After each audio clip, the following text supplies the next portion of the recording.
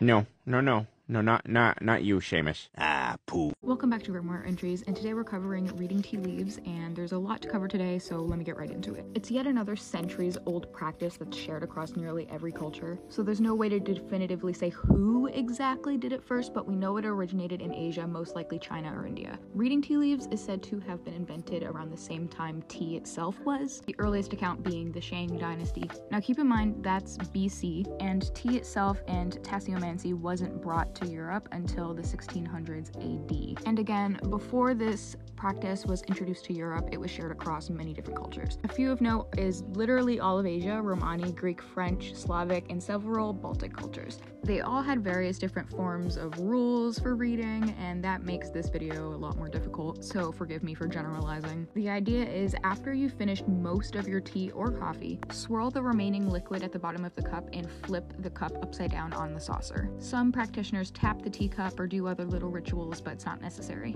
You can also get really fancy teacup and saucer sets specifically for reading tea leaves, like I'm showing on screen, which I don't have. You don't need these cups to read tea leaves, but they're definitely very helpful. Reading tea leaves is like a combination of wax reading, runes, and charms. Pay attention to the shapes and clumps of tea or coffee left over in the saucer and the cup. What do the shapes remind you of? What first pops into your head? And if you have the fancy teacup, zodiac signs and planets come into play because of the little symbols. But it doesn't have to be planetary or zodiac symbols. There are cups with all different sorts of things on them. But also remember, this is pretty much the most common way of reading, so if you disagree with me, that's completely fine. Next officially starts our tarot section, which is the last divination method I'm covering. So if you think I missed out on any forms of divination that are from open practices, let me know now so I have some time to research. But thanks for watching.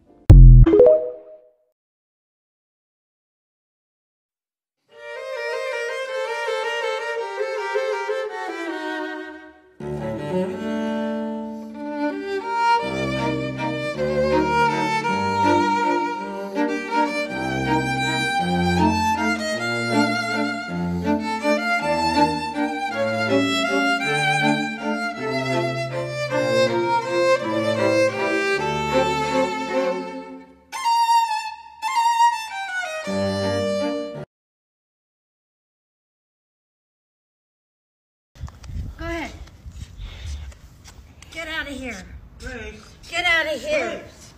Get out of here. I'm Thumbelina. I live in a shoebox. My bed is a matchbox. My neighbor's a shrew. I'm Thumbelina. My rent is two nickels. It weighs pretty heavy, but I'm making do. My sword is a nail, and my shield is a button. My hat is a thimble. My belt is a string. I'm Thumbelina. My size may be little, but my dreams are bigger than anything.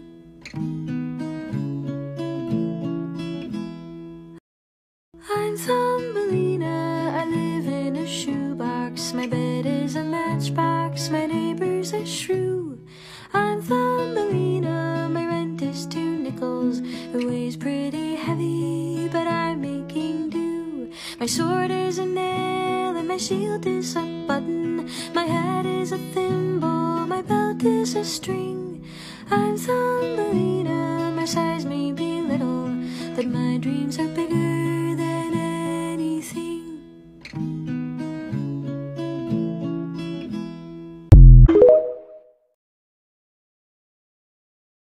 Hey guys, let's learn another tarot card together in 60 seconds. Again, just to introduce myself, I'm a new account and I'm going to be posting a lot more of these Learn Tarot TikToks, so go ahead and follow me if you want to see more.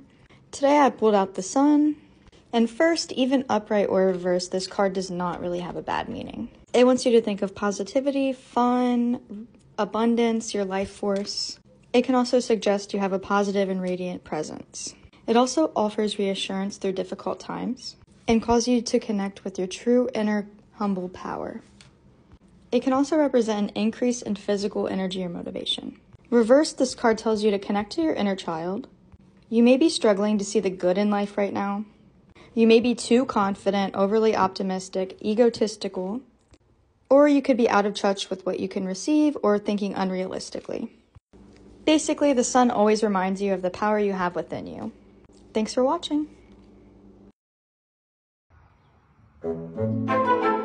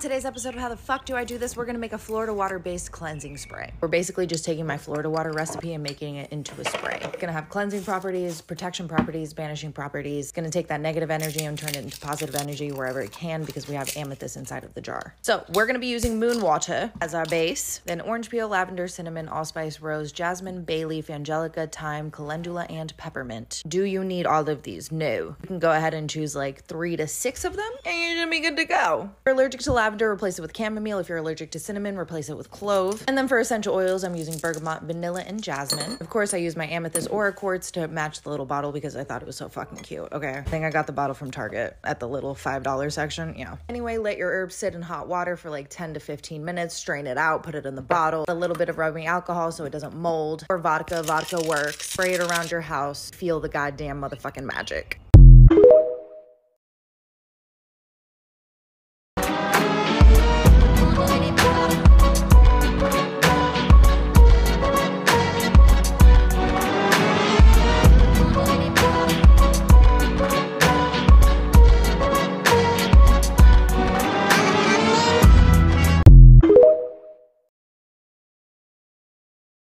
Here's a budget slash closet witch tip.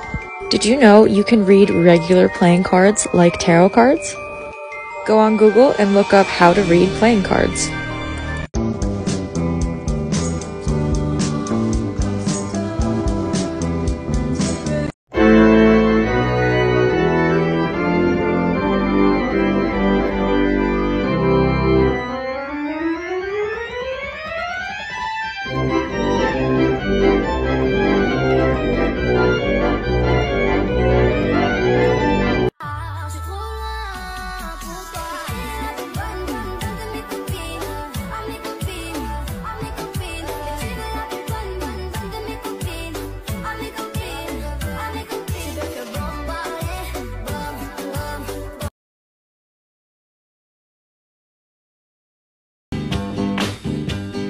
Sugar.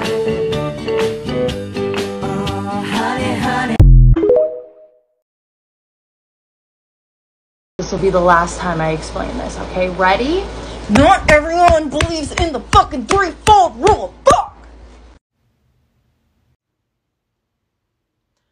Uh, excuse me, can you please bring it a little bit closer? I don't have my glasses on right now. I can't see that well. Sarah!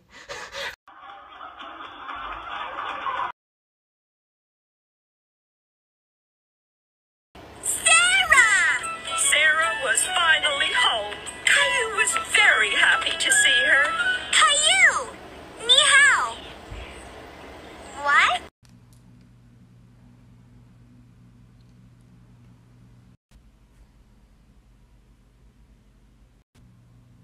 Fuck. Um, will you please stop doing that? Please. Please.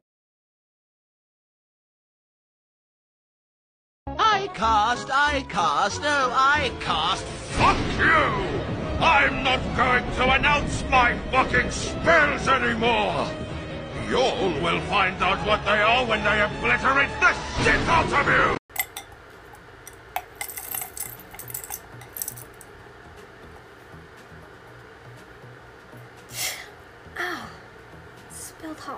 On myself.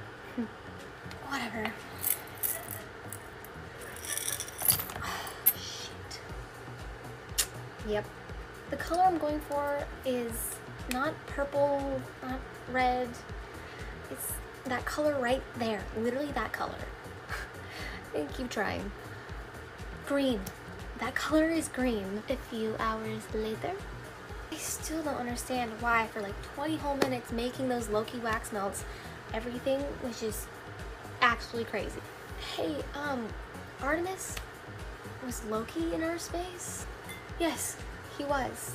And I did not enjoy that. Alright, I'll, uh, I'll go set some boundaries. So, Loki, you are not allowed in my house unless I am making these wax melts or candles for you, and even then, you cannot cause chaos like that when I'm working around a stove and with hot wax. Right, now that's out of the way, the rest of this week will go totally smoothly and I can get everything done. Hey, uh, I want to work with you. Um, what? Beautiful things don't ask for attention. I pray to you, Diana, O Floya, on Morrigan, and ask for your assistance. I give you offerings of wine and prayer, and ask for you to assist me. Helios, I swear to God, if you put a cloud over the fucking sun while I'm trying to film my YouTube outro, we're gonna have to fight. Alright, I'm gonna come outside and I'm gonna yell it. Don't look at me like that, okay? I understand I haven't cleaned my altar in a hot minute. I've been busy doing work, living in a capitalistic society. You want me to clean the altar? Why don't you send me money? Please. Hello, Diana. I am outside as you asked. Although, if you send me a bee, I will go screaming. So don't, please.